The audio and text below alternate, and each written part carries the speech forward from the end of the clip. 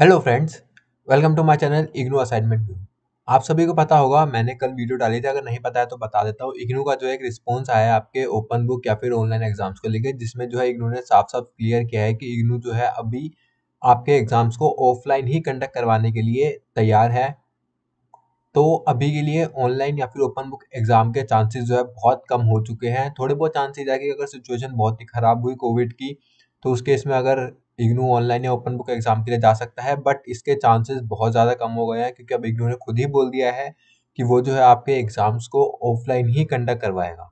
उस के पीछे रीज़न ये दिया गया है कि जम्मू कश्मीर जैसे स्टेट्स हैं, यहाँ पे कि आपका इंटरनेट की फैसिलिटी अवेलेबल नहीं है जेली स्टूडेंट है इंटरनेशनल स्टूडेंट है, ये सब रीज़न देके इग्नू ने साफ़ साफ़ बोला है कि वो ऑफलाइन ही एग्ज़ाम को कंडक्ट करेगा। तो एग्ज़ाम आपके कब तक जो है कंडक्ट करवा सकता है? क्या उसके एक्सपेक्टेड डेट है? एंड कब तक जो है आप एक्सपेक्ट कर सकते हो कि इग्नू एग्ज़ाम कंडक्ट कराएगा, उसके ऊपर आज की वीडियो में हम बात करेंगे। सो फ्रेंड देखिए, अभी सिचुएशन को देखते हुए तो यही लग रहा है क्योंकि आपका जनवरी जो है पूरा खत्म होने वाला है, आज सत्ताईस तारीख है। तो अभी के लिए तो नोटिस जो इग्नू को आएगा, इग्नू ने साफ़ साफ़ बोला था कि आपको पंद्रह दिन पहले जो है इन्फॉर्म कर दिया जाएगा जब भी आपका एग्ज़ाम होगा। तो अगर फेबररी के मंथ में जो है आपका नोटिस आता है तो या तो आपके फेबररी के एंड में एंड वीक से या फिर आपके जो है मार्च के स्टार्टिंग से एग्ज़ाम होने के चांसेस बहुत ज़्यादा है। वो भी आपके ऑफलाइन यानी कि नॉर्मल मोड में जिस तरह से इग्नू में पहले एग्ज़ाम होते थे। तो उसी फॉर्म में जो है इग्नू आपके एग्ज़ाम कंडक्ट करवाएगा एक्सपेक्टेड डेट आपकी यही है। या तो मार्च के स्टार्टिंग से ही आपके एग्ज़ाम कंडक्ट करवाएगा या फिर जो है फेबररी के एंड तक। अगर मार्च के बाद कराता है मार्च के मिड में भी हो सकते हैं। अगर सिचुएशन ठीक नहीं हुई तो मार्च का मिड भी आप एक्सपेक्टेड डेट लेके चल सकते हैं। लेकिन अगर अप्रैल तक कंडक्ट करवाए तो बहुत ज़्यादा जो है स्टूडेंट के लिए लेट हो जाएगा। बिकॉज़ आपके जून में तो वैसे ही दोबारा एग्ज़ाम होते हैं। तो सबसे ज़्यादा चांसेस यही है कि आपके मार्च के स्टार्टिंग से, आपके मार्च के फ़र्स्ट वीक से जो है आपके एग्ज़ाम होने के अभी के लिए सबसे ज़्यादा चांसेस जो है दिख रहे हैं। इग्नू जो है आपका एग्ज़ाम मार्च के फ़र्स्ट वीक से ही जो है कंडक्ट करवा सकता है। इसका नोटिस आपको जो है फेबररी के मंथ में ही देखने को मिलेगा।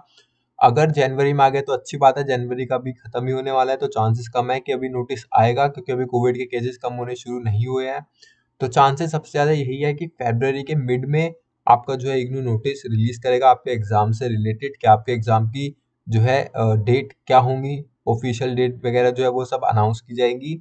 तो लग तो यही रहा है कि अभी के लिए फेबररी के मिड में आपकी जो है एग्ज़ाम की डेट को अनाउंस किया जाएगा एंड साथ ही में मार्च में आपके एग्ज़ाम्स होने के सबसे ज़्यादा चांसेस हैं।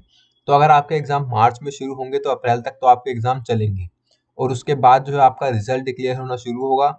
जैसे जैसे आप एग्ज़ाम देते रहेंगे, उसी उसी तरह से आपका रिज़ल्ट जो है डिक्लेयर होगा। डिक्लेयर होने के लिए आपके 45 टू सिक्सटी डेज़ जो है लग जाते हैं। दो तीन महीने आराम से आपके लग जाते हैं आपका रिज़ल्ट डिक्लेयर होने में। तो स्टूडेंट को काफ़ी ज़्यादा इशू तो होने वाला है। क्योंकि ऑलरेडी बहुत डीले हो चुके हैं एग्ज़ाम फाइनल ईयर वाले स्टूडेंट्स के भी डीले हो चुके हैं। जिन स्टूडेंट के एग्ज़ाम एक दो रह गए थे, जिनका फाइनल ईयर का एग्ज़ाम में एक दो बैक के पेपर थे, उनका भी बहुत ज़्यादा डिले हो चुका है तो इसमें आप कुछ नहीं कर सकते। सिचुएशन ही ऐसी है।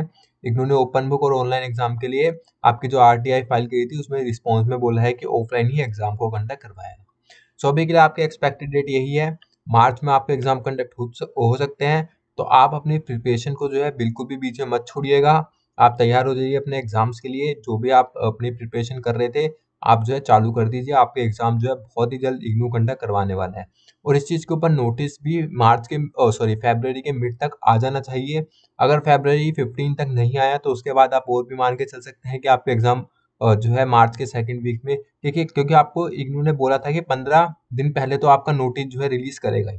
ठीक है, क्योंकि स्टूडेंट्स को बताना पड़ेगा इग्नू को पंद्रह दिन पहले तो मिनिमम तो पंद्रह दिन पहले बताने पड़ेगा। एक्सपेक्टेड ये कि आपको बीस दिन पहले तक ही इन्फॉर्म कर देगा। बट अगर पंद्रह दिन पहले ही बताया, तब भी आपको फेबररी के मिड में जो है उसको इग्नू को अपने नोटिस जो है रिलीज़ करना होगा आपके एग्ज़ाम का। तो सबसे ज़्यादा एक्सपेक्टेड यही है कि फेबररी के मिड तक या फिर फेबररी के फ़र्स्ट वीक में आपका नोटिस आएगा। एंड मार्च के फ़र्स्ट वीक से या फिर फेब्रवरी के एंड से जो है आपके एग्ज़ाम कंडक्ट हो सकते हैं। ये भी एक्सपेक्टेड डेट है।